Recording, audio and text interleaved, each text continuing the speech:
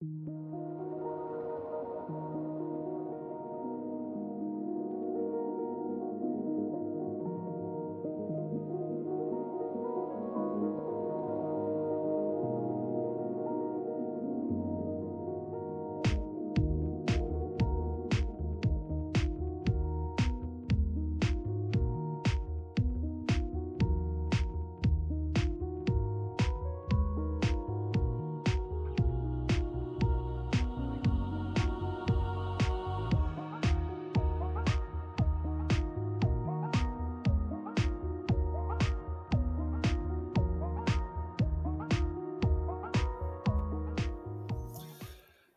Bonjour à vous toutes et à vous tous. Nous sommes le dimanche 17 mars 2024. Je suis ravi de vous retrouver en ce dimanche en espérant que vous avez passé une belle semaine. Alors visiblement dans le froid et sous la pluie.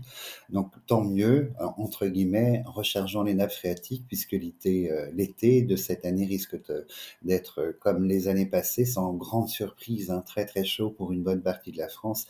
Donc toujours avec cette idée de, de restriction d'eau. Chose que je vis depuis 2022 ici en Espagne en fait.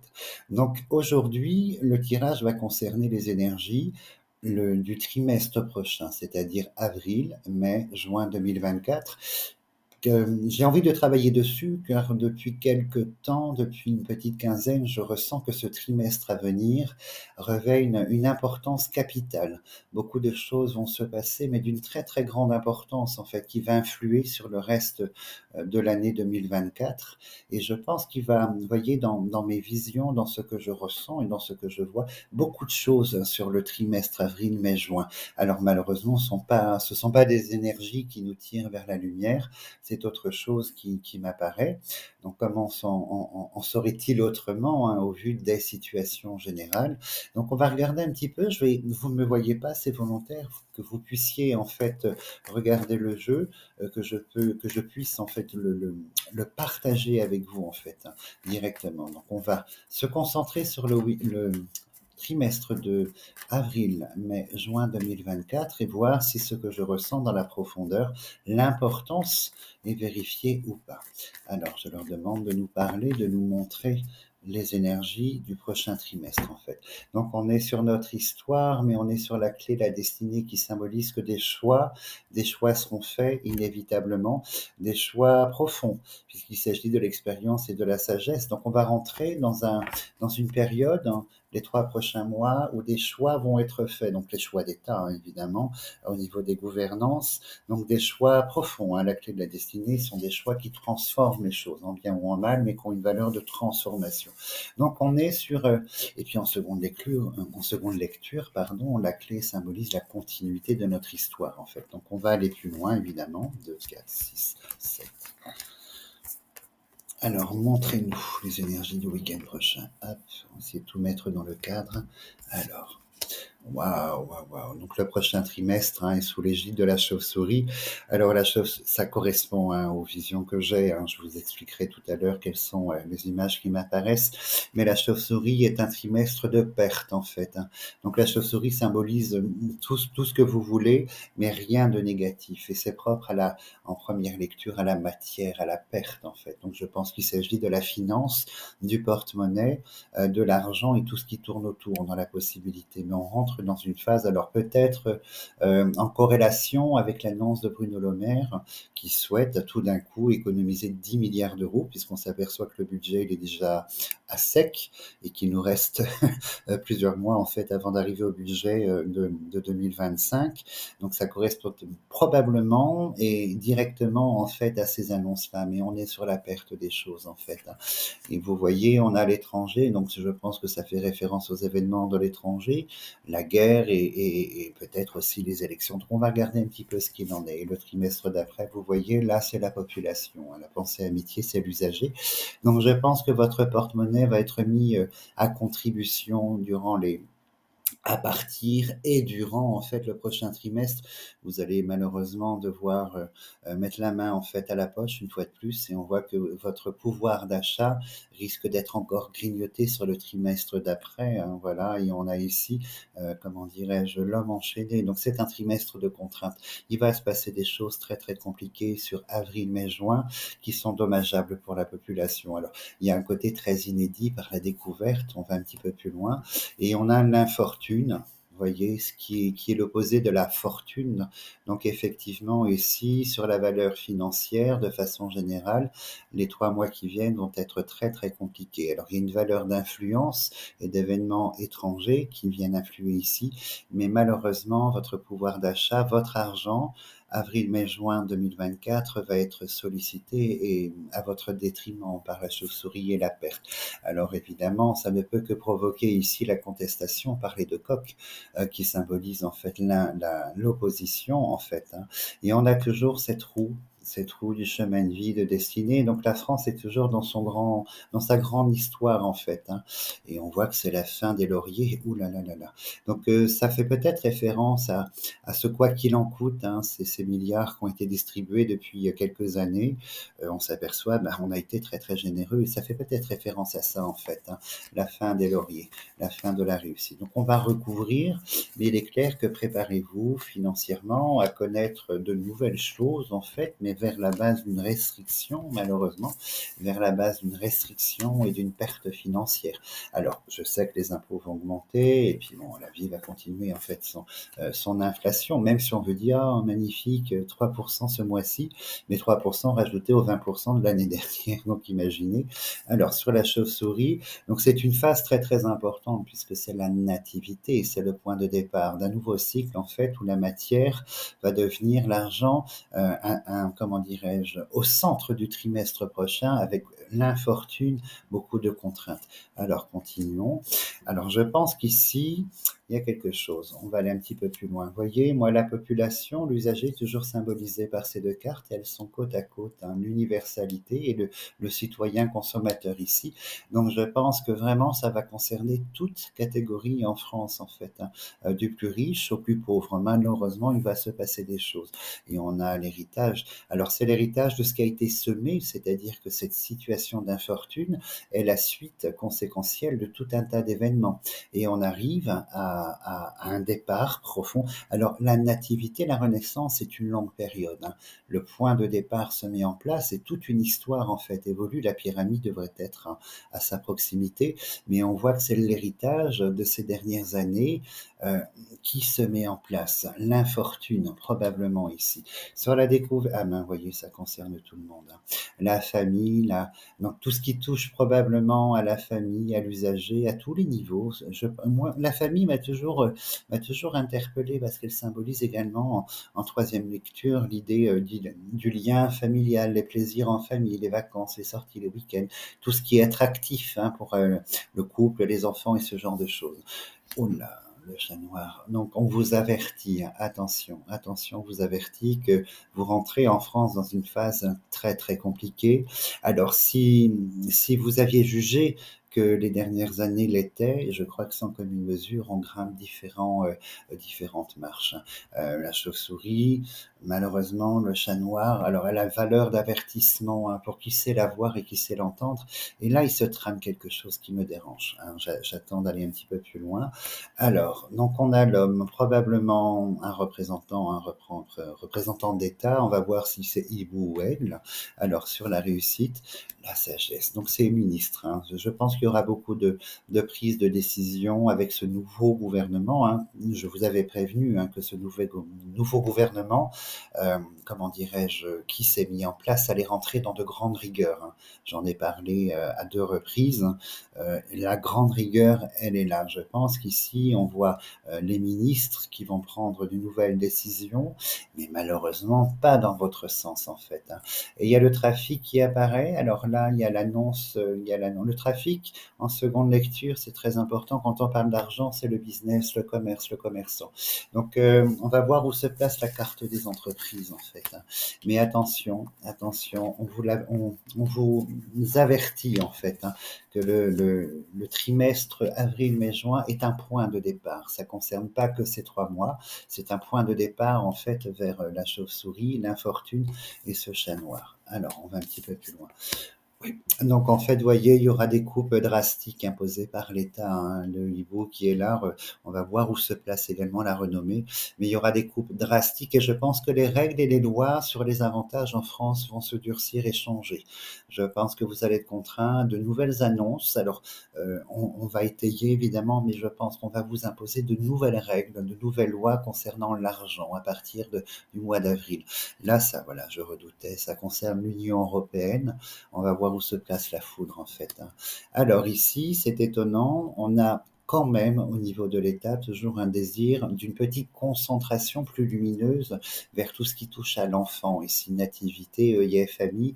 Donc je pense que c'est la jeunesse, il y a quand même quelque chose en fait, si autant, vous voyez, les parents, on va dire les, les, les, quarantenaires, cinquantenaires, les parents vont subir cette situation, autant pour les enfants, l'adolescent, le jeune adulte, il sera tenté d'apporter quelque chose quand même par l'État.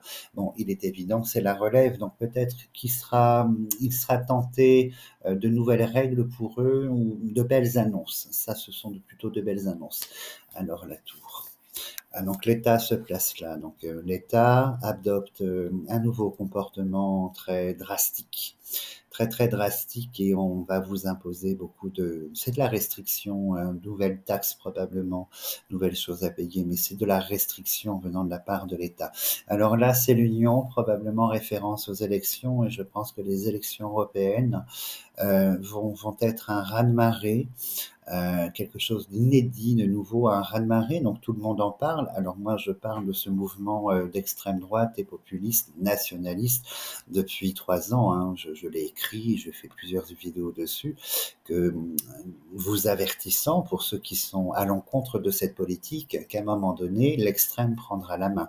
Et je pense qu'il y a un raz-de-marée ici au niveau de, de l'Union européenne, au niveau des élections. Le chat noir est là pour alors ça va être très très compliqué. Hein. Alors, oui, donc je pense que en plus, à travers tout ça, l'État est convaincu de sa démarche en fait. Hein. La couronne est là, on va voir où elle est, là, mais la couronne est là. L'État est convaincu en fait hein, de sa démarche au niveau euh, des nouvelles règles qui vous imposent et qui vont pas dans votre sens, dans votre intérêt, ni dans votre avantage. L'État a cette conviction profonde. La couronne revêt une forme d'ego, en fait, une forme de certitude profonde. Elle a un côté très très royaliste en fait dans l'idée euh, autoritaire en fait. Hein. Là, il ne s'agit pas de présidence, il s'agit euh, de ministre en fait. Je pense qu'on va retoquer énormément de domaines. La santé apparaît ici, les forces de l'ordre apparaissent ici, la jeunesse plutôt positive, hein, le commerce apparaît là également.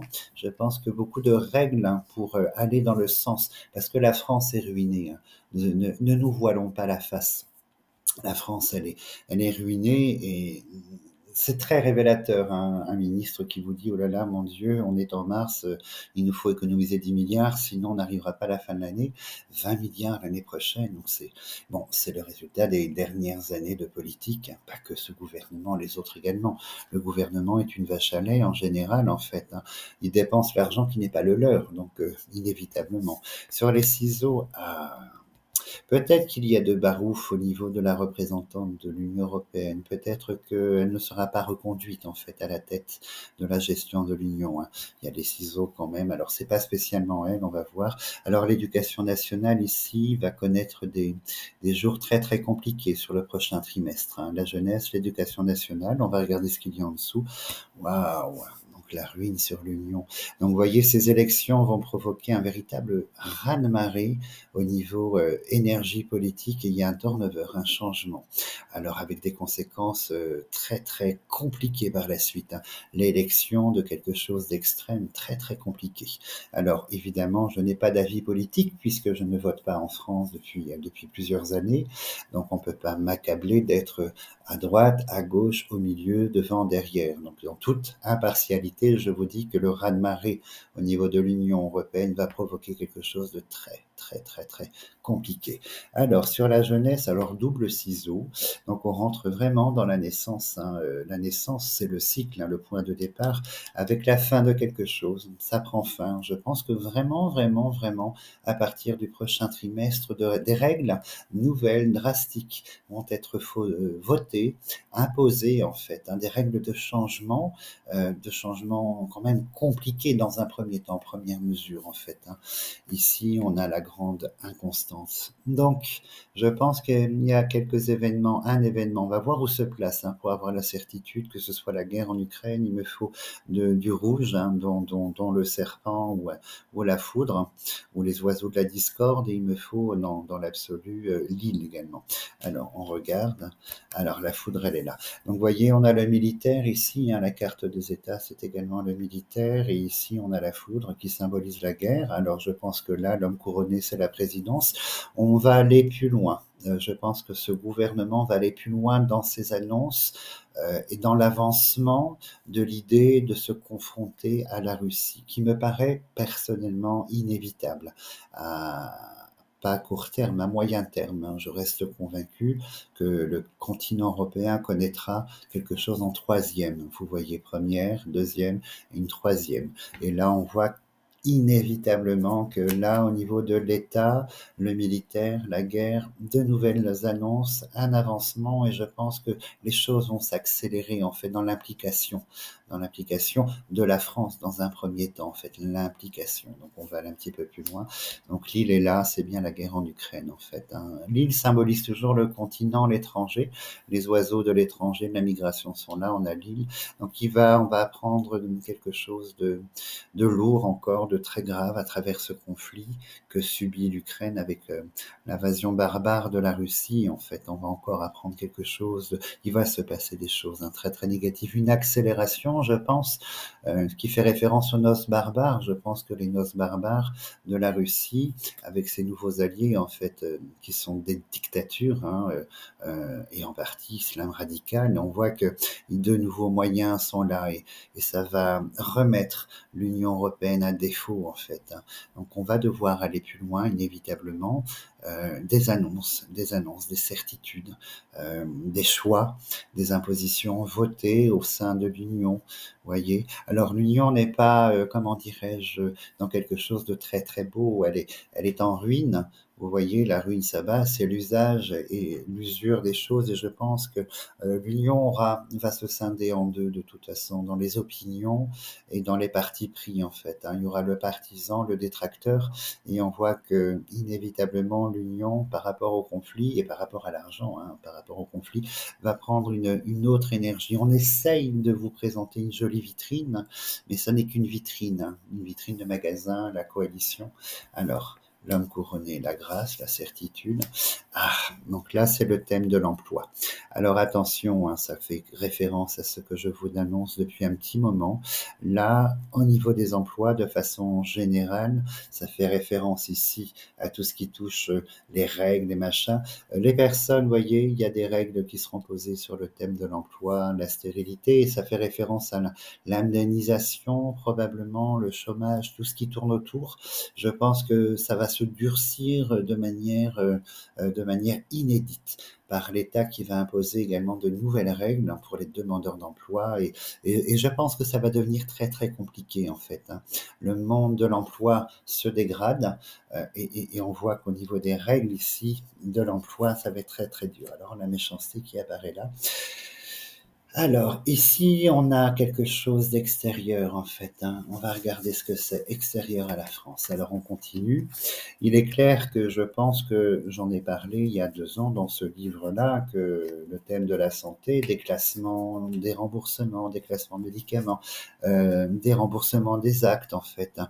euh, séjour hospitalier très court, en fait, hein, très, euh, très, très compliqué. Je pense que tout ce qui va être du de l'ordre de l'économie sera va prendre naissance sur le prochain trimestre, à partir du mois d'avril euh, professionnel, ici le monde du travail, le monde de l'éducation nationale, l'État, euh, le monde ici, euh, le commerce, euh, le monde du, euh, comment dirais-je, hospitalier. Donc c'est très très très très très fort. Alors, donc waouh, la maladie, donc ça c'est au sens propre et symbolique. Alors je pense que probablement la tête de lisse euh, de l'Union européenne va vivre des heures très très compliquées. Hein. Très très compliquées. Alors continuons. Alors la Providence. Alors la Providence, elle n'est pas pour nous, hein. elle est en terre étrangère. Hein. On a le continent, les oiseaux de la migration, et on voit qu'il y a un regain, vous voyez, une intensification, puisque la finance, les fonds sont trouvés. Je pense que l'ennemi de la démocratie va retrouver euh, une part belle de finances par ses alliances propres, hein, ces noces barbares dont je vous parle depuis longtemps. Et je pense que le conflit va énormément s'intensifier et c'est très préjudiciable évidemment en premier lieu pour, pour euh, l'Ukraine, hein, c'est cette population euh, euh, terrible. Hein, c'est terrible pour eux, mais en seconde lecture pour l'Europe également. Alors, n'oubliez pas qu'on a l'infortune et la fortune côte à côte. Alors, on va un petit peu plus loin. Voyez, là, c'est la carte du printemps. Il n'y a que des rouges ici, hein, dans l'ennemi, dans la méchanceté. Ici, il n'y a que des rouges. Donc, ça va être un printemps compliqué. Très, très compliqué. Donc, l'incertitude, logique. Hein. Et on est sur l'aigle ici. C'est bien notre, votre président, en fait, qui fait de, qui pose des choix, qui, qui, qui impose à son gouvernement vraiment euh, de rentrer dans un spectre de, de réforme euh, vers l'économie. Le moindre euro euh, qui pourrait être récupéré ou taxé va être récupéré et taxé et vous rentrez dans cette grande phase ici. Alors, ça n'est qu'un début. Hein. On ne parle pas juste sur trois mois, règle loi. De toute façon, on voit que des décrets ici vont être, euh, vont être imposés. Et vous voyez, la providence de l'argent, la ruine de l'argent, l'infortune de l'argent. Il sera question de la part de l'État dans cette sévérité, euh, cette nouvelle approche en fait à la politique qui sera beaucoup plus sévère dès le printemps, euh, de chercher le moindre euro. Tous les secteurs vont être touchés. Alors attention parce que au niveau du secteur en fait professionnel en général en France, la saison, euh, la saison qui commence à partir du mois d'avril, hein, on va dire l'énergie vont être très très compliquées. Fermeture, faillite, liquidation, on continue, hein, on continue malheureusement cette dégradation sur le monde de l'emploi. Sur la, bon, c'est la banque. Oui, oui, oui. Alors, il semblerait que avril, mai, juin, nous ayons des déclarations très très complexes concernant euh, l'état réel et concret de la finance française. Et là, je me demande si les banques ne vont pas trembler. Une banque, tout au moins, ne va pas trembler sur le sol français avec la ruine de l'argent. Hein. C'est l'argent derrière les barreaux. Ça symbolise le thème de la banque. Donc, il va se passer des choses. Hein. Il va se passer des choses sur le plan monétaire et le plan financier, euh, vous concernant vous directement. Ça, c'est évident. Là, je pense que c'est l'arrivée de, d'alliances, nouveaux capitaux, en fait, hein, pour la dictature qui, euh, qui, qui, qui tente de, de, de, de voler l'Ukraine, en fait. Hein.